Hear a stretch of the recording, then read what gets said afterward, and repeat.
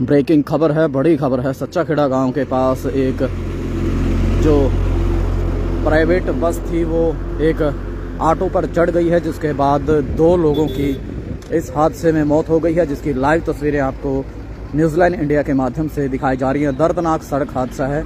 तो आप तो जितने भी साथी जुड़े, तस्वीरों को शेयर ज़रूर कर देना। जो ऑटो में दो सवार आगे लिखा हुआ है, जो प्राइवेट बस है, और पुलिस के कर्मचारी भी पहुँचे हुए हैं और भीषण सड़क हादसा, दर्दनाक सड़क हादसा हुआ है नरवाना के पास। आप जितने साथी तो जितने साथी जुड़े, तस्वीरों को शेयर करते रहें। हालाँकि यहाँ नेटवर्क थोड़ी प्रॉब्लम है, लेकिन तस्वीरों को शेयर ज़रूर करते रहें। वो तस्वीरें आपको दिखाएँगे जो ऑटो है।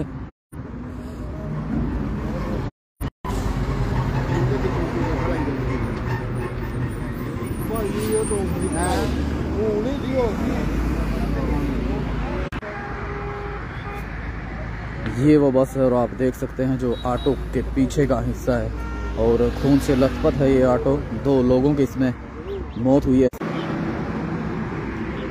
दर्दनाक सड़क हादसा है और एक जो इलेक्ट्रिक नहीं है नहीं तो इलेक्ट्रिक ये ऑटो है जो शायद सच्चा खेड़ा से नरवाना की तरफ़ जा रही थी और ये बस भी हिसार से नरवाना की तरफ़ आ रही थी जो सच्चा खेड़ा गाँव के पास हादसा हुआ है। हाँ जी न्यूज़ से।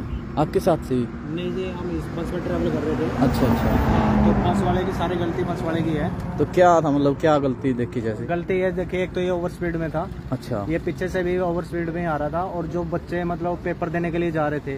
अच्छा वो सवार थे इसमें? हाँ वो काफ़ी सारे सवार थे। उन्होंने क्या कर रखा था आज तो बस सरकार ने फ्री कर रखा पेपर वालों हाँ, के हाँ, लिए। हाँ, लेकिन इसने लड़कियों को भी परेशान किया लड़कियों से भी इसने किराया लिया और जो पेपर देने बच्चे गए थे उनसे भी किराया लिया। और उसके बाद ये बोला कि मैं सरकार में रहता हूँ जो उखाड़ना उखाड़ लेना।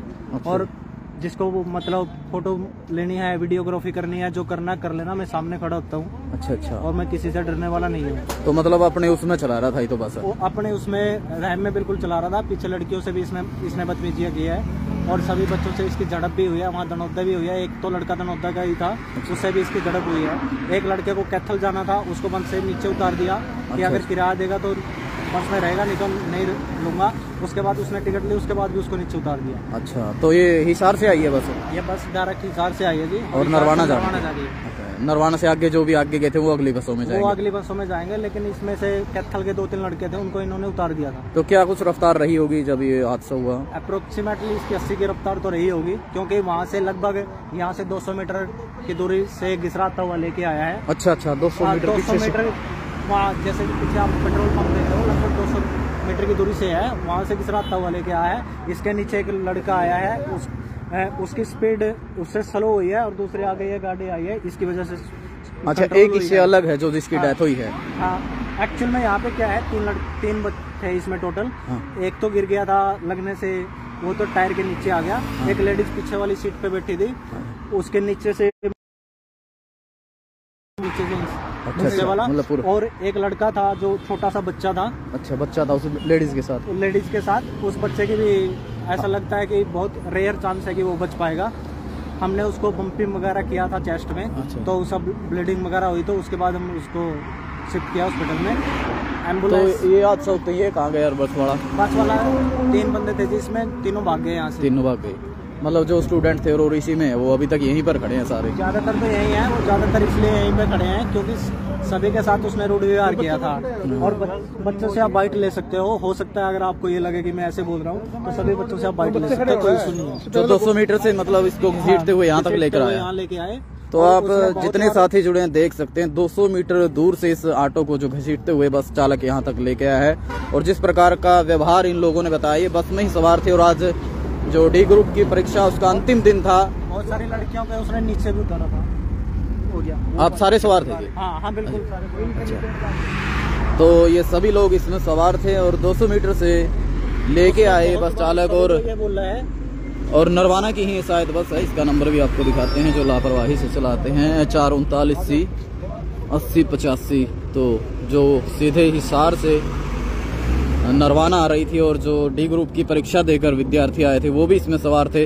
उनके साथ भी गलत व्यवहार किया गया है इस बस के चालक और परिचालक द्वारा। इसका एटीट्यूड यही था वो ये कह रहा था बार बार यही कह रहा था कि मैं सरकार के अंदर ही रहता हूँ जिसको वीडियोग्राफी करनी है बाइट लेनी है जो कुछ भी करना है वो कर सकते हैं मैं किसी से डरने वाला नहीं हूँ। अच्छा, और मतलब- नीचे उतरो मेरे पास पेपर है और किसी को फ्री में नहीं लेके जाने वाला लड़कियों से भी रोड व्यवहार करके लड़कियों को भी उसने नीचे उतारा। है तो आप अंदाज़ा लगा सकते हैं, जब इस प्रकार के चालक वाहनों को लेकर गुजरते हैं तो सिर्फ़ बस में सवार यात्री ही नहीं, सड़क पर जो कोई भी व्यक्ति निकलता है और ऐसे वाहन चालकों के सामने आता है तो उनकी मौत की परवाह ये बिल्कुल नहीं करते। तो क्या कुछ कहना, आप तस्वीरों को शेयर ज़रूर करें, ताकि जो भी लोग इसमें सवार थे, उनके परिजनों तक भी सूचना पहुँचे और एक बच्चा है, उसकी हालत भी गंभीर बताई जा रही है, उसको बेहतर इलाज मिले तो शायद उसकी जान बच सकती है। यहाँ मौजूद लोगों ने भी कोशिश की है, लेकिन जो बस के चालक और परिचालक से वो मौके से फरार हो गए हैं। इस हादसे के बाद इस घटना को अंजाम देकर और 200 मीटर से जैसे इस ऑटो को घसीटते हुए यहाँ तक इस बस को लेकर आया है तो आप अंदाज़ा लगा सकते हैं कि कितनी लापरवाही से ये चालक इस बस को चला रहा था और जो विद्यार्थी हैं जो डी ग्रुप की परीक्षा देने के लिए अपने घरों से क्योंकि सरकार द्वारा इस साल फ्री जो है किराया उनका किया गया था। बस सुविधा दी गई थी सेंटरों तक जाने के लिए। वो देर रात तक भी जाएँगी और और इस प्रकार के हादसे और किराया वसूलने की बात की गई, लड़कियों को परेशान करने की बात।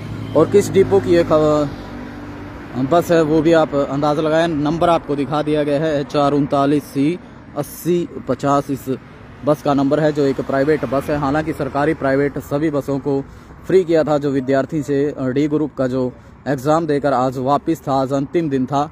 लेकिन यहाँ सच्चा खेड़ा और बद्दोवाला गाँव के पास एक दर्दनाक हादसे को अंजाम दिया है इस लापरवाह चालक ने, जो एक इलेक्ट्रिक ऑटो आगे चल रही थी, जिसमें ती, दो, एक महिला, एक व्यक्ति व एक बच्चा सवार था। दो की मौके पर ही मौत हो चुकी है और बच्चे की हालत भी गंभीर बताई जा रही है, जो मौके पर जो लोग मौजूद थे और जिन्होंने इस बस की रफ्तार देखी है अभद्र व्यवहार विद्यार्थियों के साथ भी किया गया है। तो इस प्रकार के चालकों के खिलाफ क्या कुछ कार्रवाई होनी चाहिए, वो आप कमेंट बॉक्स में ज़रूर बताएँ। तस्वीरों को शेयर ज़रूर करें ताकि इस प्रकार के जो लापरवाह चालक होते हैं, उन्हें कड़ी सजा मिल सके और उनके खिलाफ कड़ी कार्रवाई कर सके। कहीं ना कहीं एक सरकार को चेतावनी देने का काम भी इस बस के चालक, परिचालक और जो भी इस बस का मालिक है, उसने किया है, क्योंकि सरकार ने सभी बसें जो है विद्यार्थियों को और जो भी परीक्षार्थी थे उनके लिए लगाई थी, लेकिन इस प्रकार के हादसे जो लापरवाही के कारण हुए हैं और सरेआम पूरी बस को चेतावनी दी थी कि आपको जो करना है कर लो, जो उखाड़ना है उखाड़ लो, वो किराया भी लेगा, अपनी मर्ज़ी से चलेगा और अपनी जो रफ्तार है उसी में चलेगा। तो जिसका आप अंजाम देख सकते हैं, इस ऑटो में जो लोग सवार थे। 200 मीटर तक घसीटते हुए इस ऑटो को यहाँ तक लेकर आया, जिसके बाद दो लोगों की मौत, एक महिला, एक व्यक्ति और एक बच्चे की जो हालत गंभीर बताई जा रही है। अंदाज़ा लगा सकते हैं, जब 200 मीटर दूर से इस इस प्रकार किसी वाहन को घसीटा जाए संजू खान जी हमारे साथ जुड़े हैं, सोनू चहल जी हमारे साथ जुड़े हैं। तस्वीरों को शेयर ज़रूर करें। इस वक्त की बड़ी खबर है, पुलिस पहुँची हुई है, भारी मात्रा में पुलिस, जो आसपास की पुलिस है, वो भी पहुँची हुई है। दनोदा चौकी या सदर पुलिस नरवाना और जो लोग इसमें सवार थे, वो भी मौके पर मौजूद हैं। तो आप तस्वीरों को शेयर ज़रूर करें, ताकि इस बस के चालक के खिलाफ कड़ी कार्रवाई हो सके, जो इस प्रकार लापरवाही में आकर हादसे को अंजाम देते हैं कहीं ना कहीं, और जो ये प्राइवेट बस हैं वो अपनी रफ्तार से चलते अपनी मर्ज़ी से चलते हैं, कहीं भी बस को रोक देते हैं। इस प्रकार की सूचनाएँ समय समय पर मिलती रहती हैं और इसी कारण इस प्रकार के हादसे होते हैं। तो ये बस पलट भी सकती थी, जिससे यात्री इसमें भरे हुए थे। उनको भी चोट आ सकती। बड़ा हादसा, और ज़्यादा बड़ा हादसा हो सकता था। हालाँकि बड़ा और दर्दनाक हादसा ये हुआ है सच्चा खेड़ा और बद्दोवाला गाँव के पास, जहाँ एक ऑटो को 200 मीटर तक घसीटते हुए ये लापरवाह बस चालक